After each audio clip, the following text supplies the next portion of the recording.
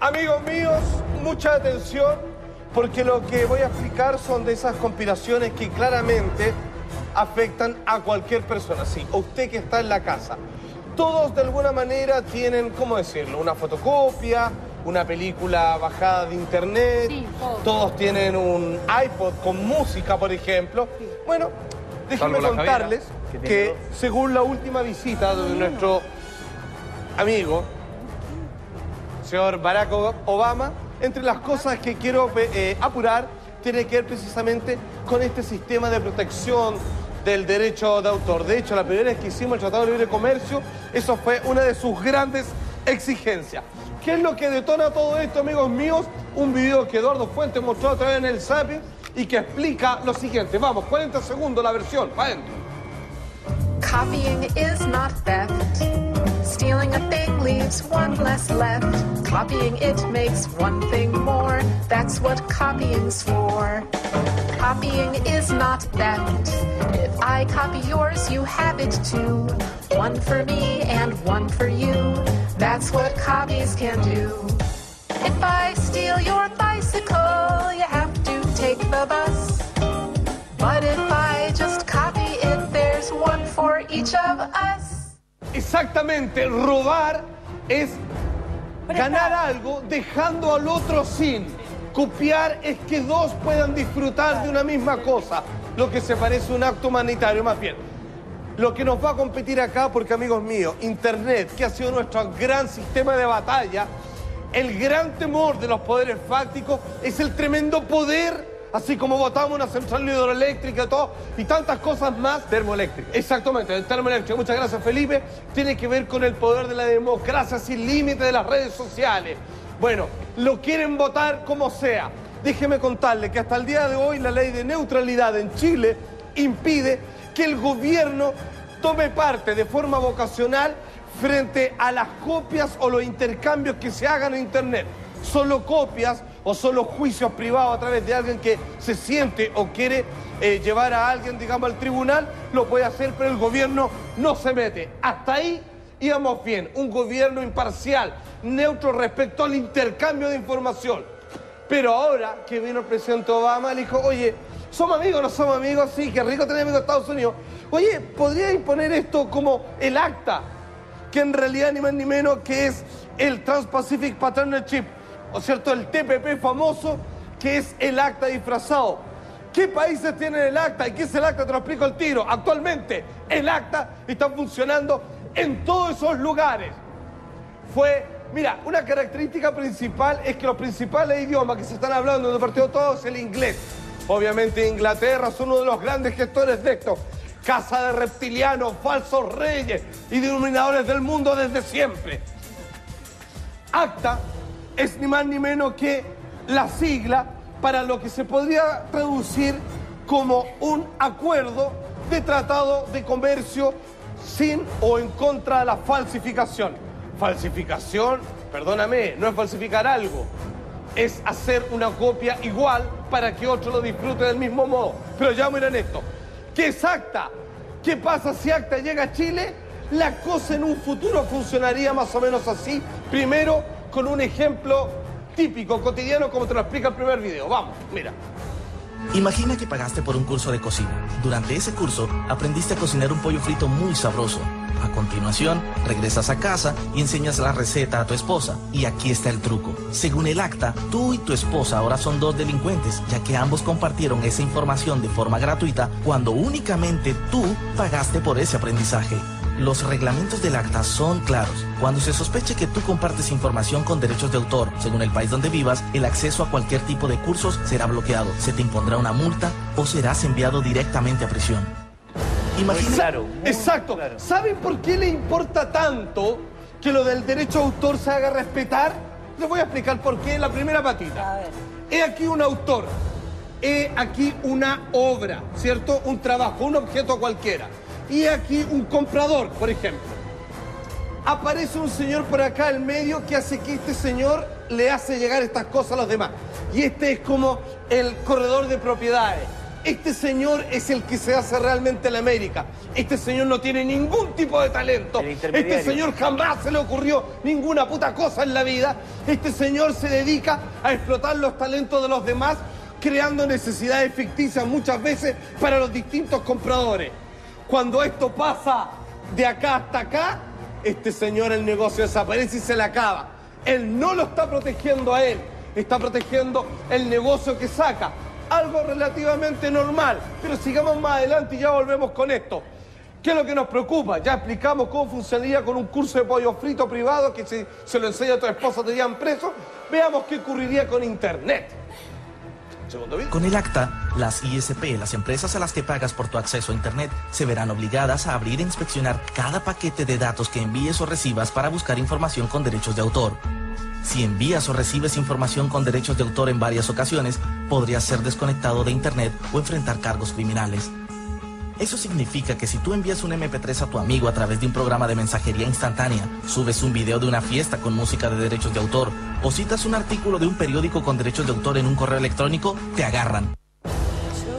O sea, Amigo. imposible. Imposible. Imposible hacer nada. Imposible hacer nada, muy bien Felipe. porque además- De hecho, no hay nada que no tenga algo como cita, perdón, como diario, titular. Por ejemplo, en estricto rigor, Felipe, las frases del día que tú haces, y ya te lo voy a mostrar, y de hecho está en el acta, tú por citarla tenés que pagar por eso y no podéis citarlo. A ver, usted está, ¿qué está citando? Venga para acá, preso. Aunque incluso yo cite dónde lo dijo, en Y- qué medio lo dijo. Eso mismo. escúchame, aunque lo hayas dicho tú en un programa de radio, porque no es tuya la radio, para adentro, te fuiste preso. Porque Así de ridículo, Ay, es ¿cómo un temor terrible. de periodismo, entonces no puedes que- citar nunca más a nadie. No. Solo periodismo, solamente están creando medios, no están, están tratando de amordazar al autor y están tratando de controlar al comprador. Eso es lo que pasa. Te agrego algo más. Dígale. Que es tremendo lo que acabamos de ver. Esto significa que las empresas que proveen Internet tienen la facultad para meterse en tu comunicación que es privada. Hasta ahora todos sabemos que uno de los principios máximos de las libertades personales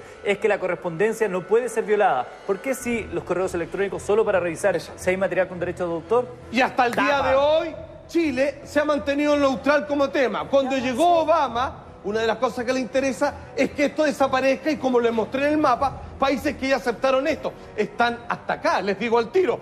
Sigamos viendo.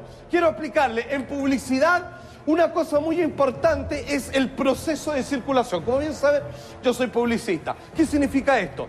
que yo cobro tanto, si tengo, soy dueño de una revista, si alguien pone una publicidad ahí, lo va a ver el que lo compró. Ah, ah, no solo él, él le va a llevar la revista para la casa y esa revista le interesa a la señora, a los hijos, que en una vez se la presta al vecino. O sea, fue más efectivo el mensaje porque lo compró uno y llegó a los demás. Hasta ahí va todo bien. Pero eso de repente se le empezó a hacer un problema cuando la circulación se excedió. Vamos con el tercer video. ¿Quiénes están detrás y por qué están haciendo todo esto? Todo este acuerdo solo beneficia a una pequeña parte de la industria llamada la mafia de contenido. Las compañías de medios editoriales como la RIAA y la MPAA, que durante mucho tiempo han tratado de resolver el problema de Internet que amenaza su obsoleto modelo de negocio. El acta es el resultado de su trabajo de cabildeo y presión con los gobiernos para que participen en las negociaciones. Las últimas filtraciones indican que las técnicas para eludir el filtrado de contenido e infraestructura de bloqueo también serán ilegales. ¿Y qué es lo peor? Todo se hace en secreto. Si eres europeo, mexicano o de cualquier región, este acuerdo se trata de llevar a cabo por personas que ni siquiera han sido elegidas por el público. ¿Ya has visto en YouTube algunos videos que no están disponibles en determinadas regiones? ¿Mm? Esta protección obsesiva y desmesurada contra la copia es también una gran herramienta para la supresión de información. Una vez que todos los filtros de Internet y las técnicas de bloqueo estén en marcha, prácticamente toda la información que toque la etiqueta de copyright podría ser suprimida.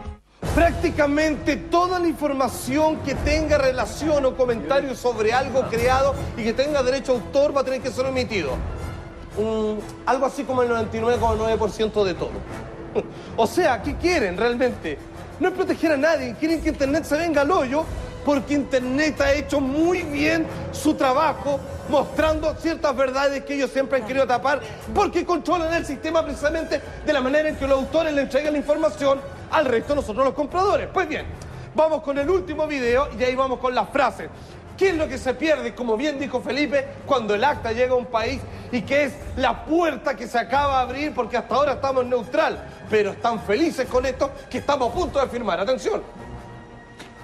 Las consecuencias con las que tenemos que tratar son la censura en Internet, la restricción de la libertad de expresión, pérdida de la neutralidad de la red debido a la restricción del uso de ciertos protocolos, vigilancia total de todas tus actividades en línea, pérdida de las libertades y la restricción de los derechos civiles, Sí, las ideas no son de alguien, son de todos. Absolutamente, y debiera ser. Bueno, y lo que dijiste no es menor, porque si es que alguien quiere homenajear otra cosa o a alguien se le ocurre una buena idea, tú no podrías mejorarla si es que no pagaras grandes cantidades de dinero. Eso es lo que quieren hacer, es que todo lo vuelvas a pagar muchas veces para que esta otra cosa siga llenando de plata. Ok, amigos míos, hubo un tiempo en donde, por ejemplo, yo compraba, como le expliqué otra vez, un VHS, un DVD, lo que sea.